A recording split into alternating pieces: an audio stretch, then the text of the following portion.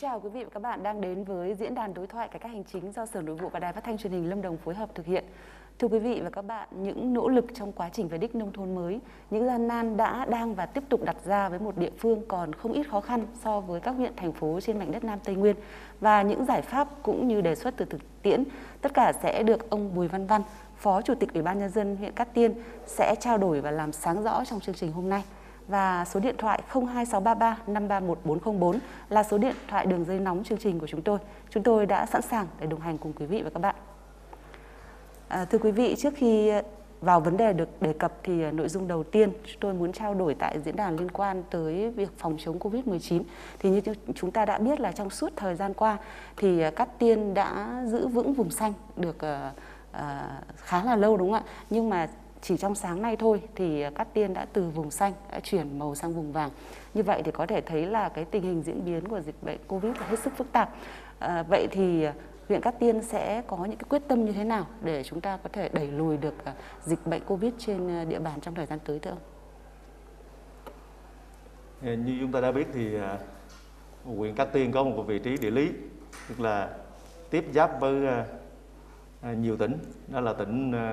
Đồng Nai, tỉnh Bình Phước và tỉnh Đắk Nông. Cho nên à, có rất nhiều cái đường đi và lối mở. À, thứ hai nữa là một bộ phận lớn uh, trong độ tuổi lao động của ở các tiên họ uh, đến thành phố Hồ Chí Minh và Bình Dương để lao động. À, do đó cho nên là cái việc mà kiểm soát dịch bệnh phòng chống dịch bệnh cũng đặt ra gặp rất nhiều khó khăn. À, tuy nhiên với cái tinh thần quyết tâm chỉ đạo quyết liệt và được toàn dân là hướng ứng ủng hộ đồng tin do đó cho nên là trong thời gian qua địa phương cũng đã thực hiện công tác phòng chống dịch bệnh à, rất có hiệu quả. À, thì à, ngày hôm qua ngày hôm qua thì chúng tôi à, vẫn là một cái huyện duy nhất của tỉnh Lâm Đồng là vùng xanh. À, tuy nhiên thì à, tình hình diễn biến khá phức tạp. À, thì à, trong cái à, cái à, câu chuyện về phòng chống dịch bệnh Covid thì nó rất là nhiều rất là nhiều. Tuy nhiên ở à, tại cái à, khuôn khổ trong thời gian này thì tôi xin à, nêu ra một số cái giải pháp như một cái kinh nghiệm ờ, cơ bản mà chúng tôi đã à, triển khai và đạt được đạt được cái kết quả tốt đẹp trong thời gian qua. À, thứ nhất là vẫn là cái triển khai thực hiện quyết liệt, đồng bộ và kịp thời các cái chủ trương chính sách của chính phủ cũng như là của tỉnh và hướng dẫn của Bộ Y tế. Đồng thời trong áp dụng thì cũng có linh hoạt cho thích ứng đáp ứng nó phù hợp với lại địa phương có hiệu quả trong công tác phòng chống dịch bệnh. Thứ hai nữa là trong công tác chỉ đạo thì cấp quỹ chính quyền là phải quyết liệt và tự tin và đồng bộ thăng tốc không do dự. À, cái thứ ba nữa là à, cái tiếp theo nữa là là mặc dù là tự tin nhưng mà phải phải phải phải phải phải à, à không được chủ quan mất cảnh giác bởi vì cái dịch bệnh covid rất phức tạp nếu chúng ta lơ là mặc dù là nó đã ổn định à, có thể là chúng ta kiểm soát được ngày nay nhưng mà chúng ta lơ là thì à, dịch bệnh có thể tái phát thì có thể là hậu quả là nó còn nặng nề hơn. Một việc nữa là à, trong quá trình thực hiện cái công tác phòng chống covid ấy, thì chúng tôi thấy rằng là cái vai trò của cộng đồng của nhân dân là cực kỳ quan trọng. Đây là lực lượng đóng vai trò chính mà trong công tác đẩy lùi covid. Bởi vì thực ra thì với cái hệ thống bộ máy của chúng ta à, trong cái công tác quản lý hành chính thì chúng ta cũng không thể nào mà triển khai đủ cái nhân lực để mà chúng ta kiểm soát hết được. Bởi vì dịch bệnh covid là nó quá phức tạp và diễn biến phát sinh thường xuyên. Do đó cho nên là chỉ có lực lượng nhân dân khi mà nhân dân rồi cộng đồng người ta đồng tình kiểm soát phát hiện và đồng tình với chúng ta trong công tác chống dịch thì mới có hiệu đạt hiệu quả và có cái à, đẩy lùi được cái dịch bệnh covid. Dạ vâng, à, chắc chắn thì sẽ cần những cái giải pháp linh hoạt kịp thời và cái sự quyết tâm nhưng mà tôi cũng rất là đồng tình với ông đó là cái chiến thắng dịch bệnh Covid chúng ta sẽ phụ thuộc chính và phần lớn vào cái sự chung tay và ý thức của người dân đúng không ạ?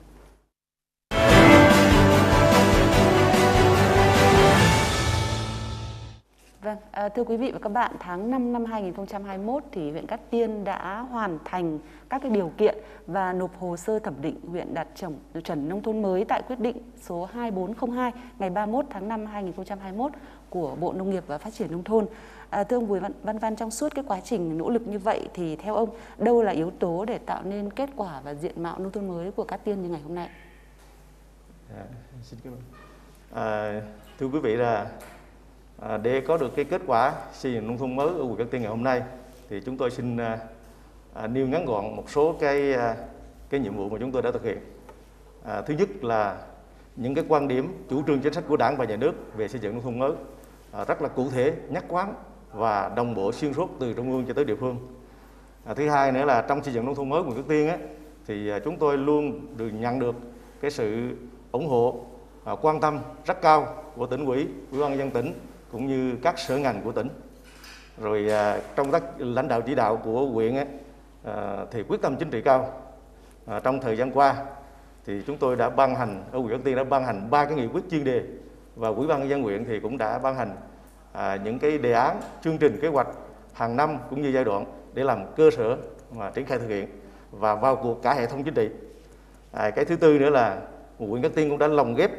tổng thể các cái nguồn lực để xây dựng nông thôn mới. À, chúng tôi có cái tổng kết là trong giai đoạn 10 năm là trên 4 4 4.300 tỷ đồng mà quy động nguồn lực. Nhưng mà chúng tôi quy động nhưng mà phải đảm bảo được hai cái nguyên tắc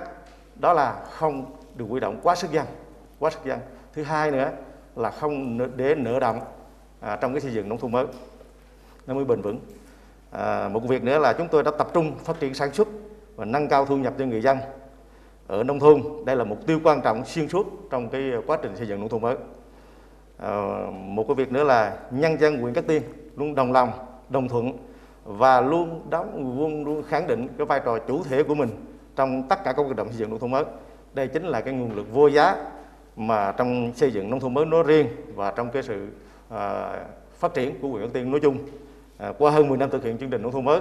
ngoài cái việc mà nâng cao đời sống À, cho nhân dân và cái diện mạo à, nông thôn mới ngày được nâng cao thì là à, chúng tôi phải thấy rằng là cái về cái vấn đề văn hóa và tinh thần cũng được ngày càng được nâng cao vì cái tinh thần đoàn kết rồi tương thân tương ái tình làng nghĩa xóm ngày càng được củng cố và nâng cao. Vâng, à, rõ ràng là chúng ta thấy là một nông thôn mới Cát Tiên hôm nay thì với rất nhiều sự khởi sắc, đó là sự quyết tâm, dồn lực và chung tay cũng là công sức của các dân tộc anh em trên mảnh đất cách mạng anh hùng. Tuy nhiên thì bên cạnh những niềm vui ấy tiếp tục đặt ra những bài toán khó. Mời quý vị và các bạn hãy cùng theo dõi phóng sự sau. Khó khăn lớn nhất trong sản xuất nông nghiệp ở huyện Cát Tiên hiện nay đó là diện tích đất trồng cây điều cho thu nhập thấp nhưng lại chiếm tỷ lệ lớn. Trong tổng số 13.360 hecta canh tác thì diện tích điều là 6.300 hecta, chiếm trên 75% diện tích cây dài ngày.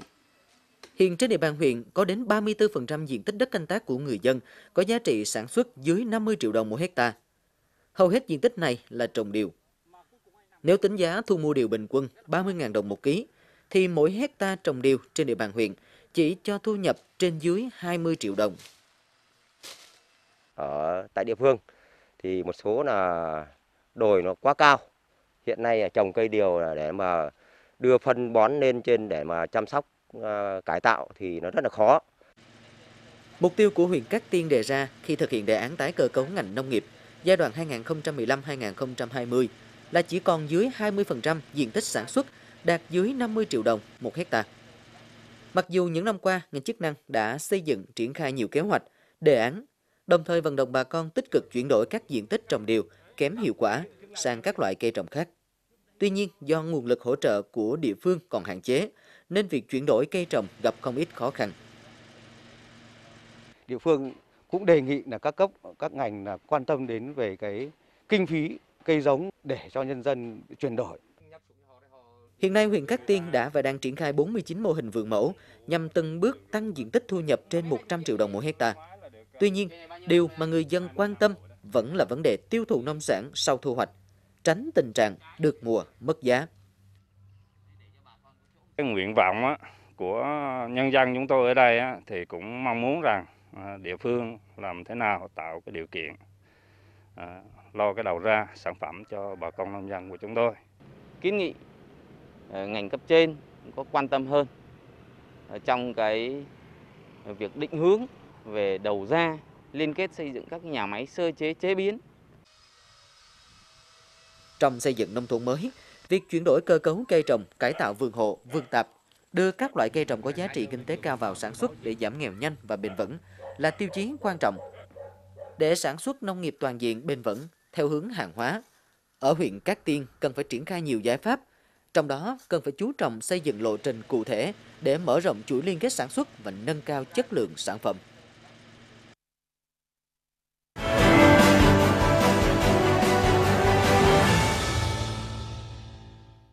Dạ vâng. À, cải tạo chuyển đổi vườn hộ, vườn tạp và tái canh cây điều nhằm giảm diện tích canh tác có mức thu nhập dưới 50 triệu đồng trên một hecta dường như là một quyết tâm rất lớn của huyện Cát Tiên trong xây dựng nông thôn mới. Song như thực tế thì chúng ta vừa thấy là rất nhiều những khó khăn đã đặt ra. Vậy thì hiện nay chăn trở lớn nhất của chính quyền huyện Cát Tiên là gì thưa ông Văn? Thì à, hiện nay trong quá trình mà thực hiện cái à, à, nâng cao cái năng suất cũng như là cái chất lượng để tạo ra cái sản phẩm à, tốt và à, tăng thêm cái giá trị thu nhập trên một diện tích và nâng cao cái thu nhập cho người dân á, thì cũng đang trên cái đà là chúng tôi thực hiện là rất là tốt. Tuy nhiên trong quá trình thực hiện cũng gặp một một số khó khăn sau đây. Thứ nhất là cái à, tình hình biến đổi khí hậu thì đang đang diễn ra phức tạp và ngày càng khắc nghiệt. Thứ hai nữa là cái giá cả vật tư đầu vào sản xuất và thị trường tiêu thụ nông sản luôn là yếu tố bất là khó dự báo, gây ảnh hưởng lớn đến chi phí sản xuất và tăng đầu ra cho cái ờ, nông sản. Là, là luôn cái cái tiềm ẩn nguy cơ rủi ro à, đặc biệt là trong cái ờ, cái thời gian qua thì ờ, do ảnh hưởng cái cái đại dịch covid do đó cho nên là cái tình hình sản xuất cũng như lưu thông hàng hóa gặp nhiều khó khăn. Do đó là giá cả vật tư đầu vào tăng rất cao do đó cho nên là ảnh hưởng đến cái cái cái cái cái, cái hiệu quả ừ, sản xuất của người dân. Thứ hai nữa là cái cơ sở hạ tầng kỹ thuật phục vụ sản xuất. À, cũng chưa có đồng bộ và còn thiếu đặc biệt là đối với cái à, cái giao thông nội đồng rồi cái đường vận xuất rồi hệ thống thủy lợi à, rồi cái hệ thống mà tưới tiêu à, tưới tiết kiệm vẫn còn thiếu và chưa đồng bộ. Thì à, một cái vấn đề nữa cũng cũng cũng cũng cũng rất là quan trọng đó là chưa có các cái nhà máy sơ chế chế biến bảo quản nông sản sau thu hoạch nên làm ảnh hưởng đến chất lượng và giá trị của nông sản. À, cái thứ ba nữa là cái diện tích canh tác mà À, có cái thu nhập dưới 50 triệu vẫn còn nhiều à, khoảng à, gần 2.300 hecta đặc biệt là cái diện tích này là diện tích cây điều cây điều canh tác trên cái đồi núi dốc không chủ động được người tưới nước. Vì vậy cho nên là cần có cái giải pháp đối với cái diện tích này. Cái thứ tư nữa là cái nguồn lực đầu tư, hỗ trợ phát triển, sản xuất vẫn còn hạn chế, chưa đáp ứng được cái nhu cầu phát triển nông nghiệp toàn diện bền vững theo hướng hàng hóa trên ở địa phương. Cái cuối cùng đó là cái tổ chức sản xuất và phát triển các cái chuỗi liên kết À, sản xuất gắn với tiêu thụ nông sản vẫn còn giản đơn và chưa thật sự là mang cái tính à, bền vững thì đó là những cái khó khăn cơ bản nhất hiện nay đối với chúng tôi ở địa phương. Dạ vâng. À, diện tích chuyển đổi thì phải bền vững và kế sinh nhai cho người dân sau khi mà đã bắt tay cùng với chính quyền bỏ dần đi cái cũ và bắt đầu triển khai cái mới thì chắc chắn là một trong những trọng trách khá nặng nề đối với chính quyền địa phương ạ. Như vậy thì trước những cái khó khăn ông vừa nêu thì đâu sẽ là giải pháp mà các tiên tập trung trong thời gian tới thưa ông? Thì à, đối với cá tiên thì là từ những cái thực trạng và cái khó khăn như à, chúng tôi đã vừa à, nêu đó. Thì đối với cá tiên thì chúng tôi khẳng định là xác định là trong thời gian tới chúng tôi tập trung một số cái nhiệm vụ thế này. Thứ nhất là phải quy hoạch lại các vùng sản xuất cho từng cây trồng chủ lực gắn với đẩy mạnh chuyển đổi cơ cấu cây trồng. À, xây dựng tiếp tục xây dựng cái vườn mẫu trụ trang trại mẫu nhằm tạo ra nguồn nguyên liệu nông sản hàng hóa tập trung đủ lớn và sẵn sàng đáp ứng trên trên thị trường à, riêng đối với diện tích mà cây điều có thu nhập dưới 50 triệu á, thì à, tập trung hai cái vấn đề. Một là chúng tôi tập trung chuyển đổi À, sang trồng cây ăn trái, cây công nghiệp và cây nguyên liệu để tăng cái à, cái hiệu quả. Như là hồi nãy mà chúng ta coi cái phóng sự đó à, tức là đối với diện tích mà cây điều mà nó nằm ở một cái à, cái cái cái độ dốc thấp và ít và coi như là có khả năng tưới tiêu được thì chúng tôi là phải chuyển qua trồng à, phát triển trồng cây công nghiệp và cây ăn cây ăn quả à, nói chung là cây có cái hiệu quả kinh tế cao. Còn đối với những cây điều những vùng diện tích á, mà à, mà mà mà mà cái độ dốc nó lớn á, thì không có khả năng mà tưới tiêu được á, thì chúng tôi thực hiện là tái canh à, giống điều ghép cao sản. Tức là là là chuyển đổi lại cái giống điều cao sản và áp dụng các cái biện pháp thâm canh để tăng năng suất cây điều. Rồi chúng tôi nhân rộng nhân rộng các cái mô hình mà trồng sen với cây điều để cuối cùng lại là mục đích để để tăng thêm cái giá trị thu nhập à, trên một cái đơn vị diện tích. À, một cái nhiệm vụ cũng không kém quan trọng đó là chúng tôi đẩy nhanh đẩy mạnh cái ứng dụng khoa học công nghệ cơ giới hóa rồi tự động hóa trong sản xuất. À, có thể nói cách khác tức là chuyển đổi phương thức cái mô hình tăng trưởng kinh tế trong lĩnh vực nông nghiệp. À, nó phải nói như thế. Và cơ cấu lại cái sản xuất nông nghiệp à, quản lý truy xuất nguồn gốc rồi cấp mã số vùng trồng rồi dự báo thị trường xúc tiến thương mại vân vân. À, thì,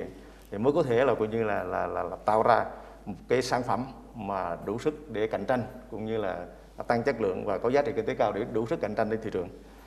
À, thứ tư nữa là trong cái tổ chức sản xuất là tiếp tục củng cố hoàn thiện lại cái sản xuất à, cái kinh tế tập thể đó là hợp tác xã và cái tổ hợp tác để làm nòng cốt trong cái cái cái cái, cái sản xuất à, nông nghiệp để tham gia vào các cái chuỗi liên kết chuỗi liên kết à, cái thứ năm nữa là tập trung các nguồn lực đầu tư để hỗ trợ phát triển sản xuất à, trọng tâm là chúng tôi tập trung củng cố cái hạ tầng À, xây dựng cái hạ tầng nông nghiệp. Như hồi nãy chúng tôi đã đề cập đó, tức là về đường vận xuất rồi à, đường giao thông nội đồng, rồi à, thủy lợi và các cái hệ thống thiết bị mà mà mà áp dụng khoa học kỹ thuật cao. Rồi nhưng mà bên bên cạnh năm cái cái giải pháp mà chúng tôi nêu trên đó thì huyện Cát Tiên cũng kính đề nghị các sở ngành của của tỉnh đó thì quan tâm hướng giúp đỡ cho huyện Cát Tiên. Mấy cái vấn đề. Thứ nhất là tiếp tục giúp đỡ cho Cát Tiên là thực hiện thắng lợi à, hoàn thành cái cái cái thắng lợi cái à, sản xuất nông nghiệp hữu cơ và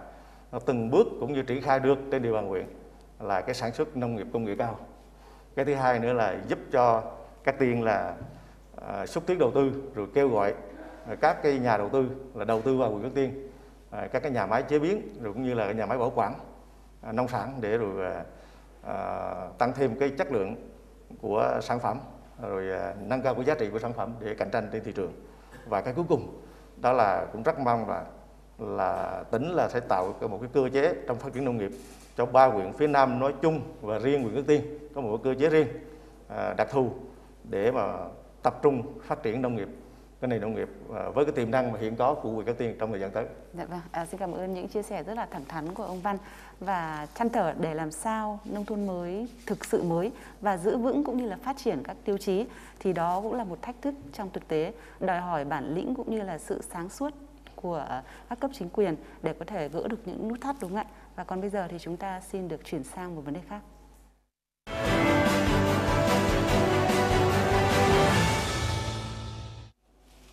Thưa quý vị, những vườn mẫu có thực sự phát huy được hiệu quả cây dâu tằm sau khi chuyển đổi được phát triển ra sao và việc quy hoạch vùng chuyên canh tiến tới xây dựng nhãn hiệu măng cụt Cát Tiên đang được thực hiện như thế nào. Đó cũng là vấn đề đang được đặc biệt quan tâm trong xây dựng nông thôn mới ở Cát Tiên.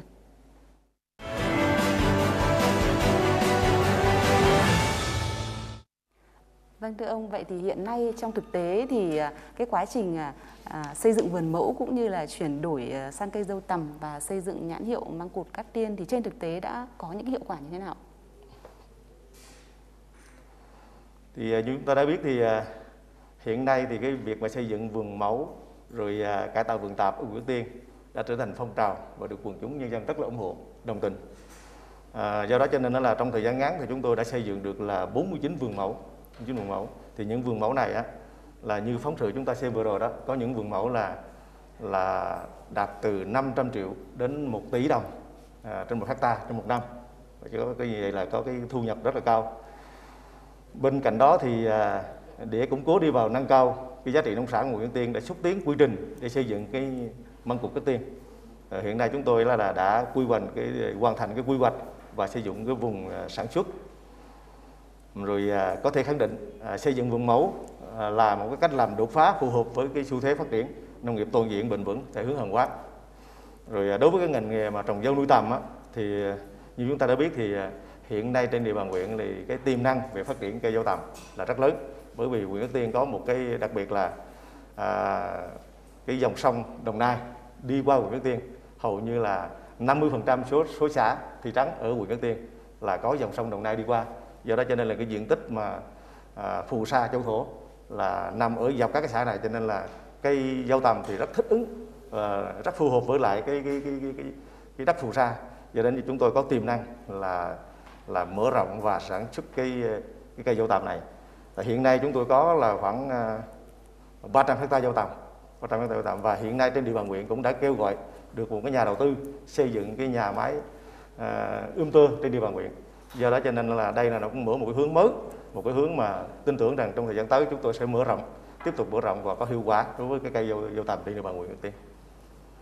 Dạ vâng, à, thực tế thì à, như ông Văn vừa chia sẻ đã thấy rõ những cái hiệu quả. À, tuy nhiên thì cái câu chuyện đặt ra đó là khi mà đề cập với cái việc à, chuyển đổi cơ cấu cây trồng thì cái bài toán về à, chế biến và tiêu thụ cũng là một cái bài toán rất là khó. Với huyện Cát Tiên thì à, sau những cái nỗ lực như vừa rồi thì đây cũng có phải là một trong những cái nút thắt mà thời gian tới sẽ cần phải tháo gỡ không thưa ông Văn?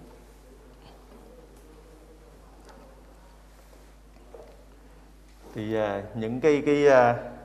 cái khó khăn chế biến trong cái cái, cái, cái, cái, cái, cái chế biến và tiêu thụ nông sản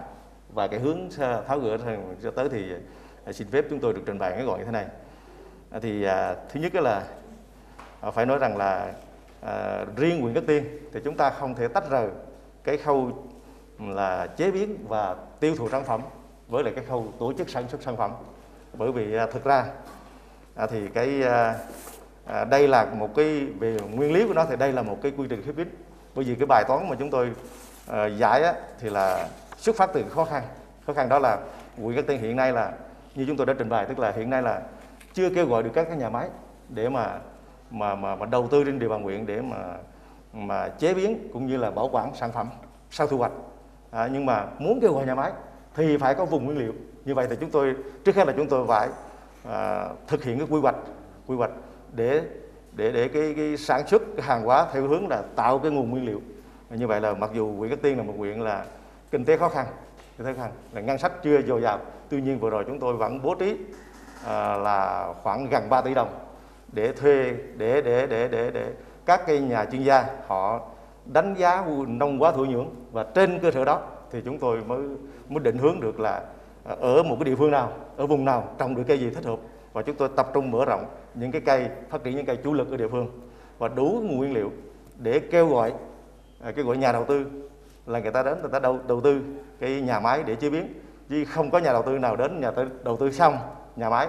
thì mới chưa chúng ta mở rộng nguồn nguyên liệu à, phải nói như thế. Cho nên là đây là một cái quy trình mà khép kín mà chúng tôi giải bài toán sắp tới. Thì muốn mà tiêu thụ và muốn chế biến tiêu thụ nông sản thì phải tạo cái vùng nguyên liệu à, mà chúng tôi đang làm. À, thì à, là cái hướng chúng tôi là như thế. Thứ hai nữa là chúng tôi đổi mới trong áp dụng khoa học công nghệ và sản xuất thì xây dựng cái chuỗi liên kết phát triển hữu cơ. Thì thưa với là quý vị là à, chúng ta không thể sản xuất theo cái lối cổ truyền nữa mà bây giờ chúng ta phải sản xuất hữu cơ hữu cơ và sản xuất theo cái hướng là hữu cơ và phải truy xuất cho được nguồn gốc. Và và như vậy thì mới xác định cho được cái vùng sản xuất. Cho nên là người ta người tiêu dùng người ta mới tin tưởng vào cái sản phẩm của mình. Người ta mới mới mới mới, mới tiêu dùng người ta sử dụng sản phẩm của mình. À, do đó cho nên là là sắp tới là chúng tôi là phải tập trung vào áp dụng khoa học kỹ thuật và sản xuất theo cái hướng hữu cơ. Hữu cơ mới mới mới, mới nâng cao được cái giá trị sản phẩm và chất lượng của sản phẩm mới mới tiêu thụ và và và và và mới có chỗ đứng trên thị trường và Dạ nâng vâng. cao thu nhập cho người dân. Vâng, như vậy là có thể thấy là những bước đi hết sức là căn cơ và theo những cái quy trình đã đã được đặt ra rất là cặn kẽ. Tuy nhiên thì trong cái quá trình mà chúng ta song song chuẩn bị đầy đủ các điều kiện như vậy thì cũng rất cần à, một cái sự xúc tiến và chuẩn bị sớm ngay từ bây giờ trong cái quá trình à, tiêu thụ nông sản đúng không ạ? Và bây giờ thì là thời lượng mà chúng tôi sẽ dành để à, à, gửi tới ông Văn à, những câu hỏi mà khán giả gửi tới chương trình. À, xin được nêu câu hỏi đầu tiên ạ. Việc thành lập tổ hợp tác, hợp tác xã để liên kết sản xuất tiêu thụ nông sản hiện tại thì người dân chúng tôi đang gặp nhiều khó khăn. Mong sự hỗ trợ và giải pháp cụ thể của chính quyền để tạo điều kiện và thúc đẩy khuyến khích cho người dân. À, xin chuyển đến câu hỏi ạ.